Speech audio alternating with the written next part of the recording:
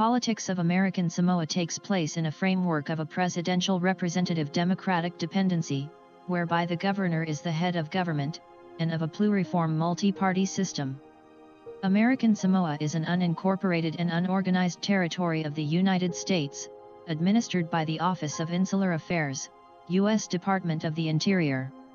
Its constitution was ratified in 1966 and came into effect in 1967. Executive power is exercised by the governor. Legislative power is vested in the two chambers of the legislature. The American political parties, Republican and Democratic, exist in American Samoa, but few politicians are aligned with the parties. The judiciary is independent of the executive and the legislature. There is also the traditional village politics of the Samoa Islands, the Fa'amatai and the Fa'asamoa, which continues in American Samoa and in independent Samoa, and which interacts across these current boundaries.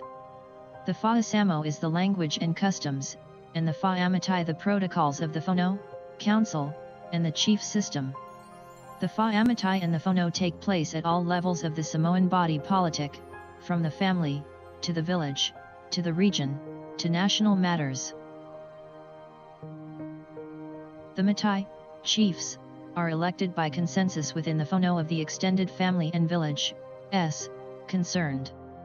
The Matai and the Fono, which is itself made of Matai, decide on distribution of family exchanges and tenancy of communal lands. The majority of lands in American Samoa and independent Samoa are communal. A Matai can represent a small family group or a great extended family that reaches across islands, and to both American Samoa and independent Samoa.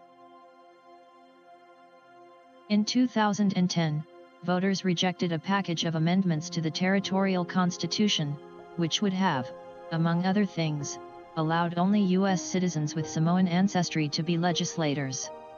In 2012, both the governor and American Samoa's delegate to the U.S. Congress Eni Faleomavaega called for the populace to consider a move towards autonomy if not independence, to a mixed response.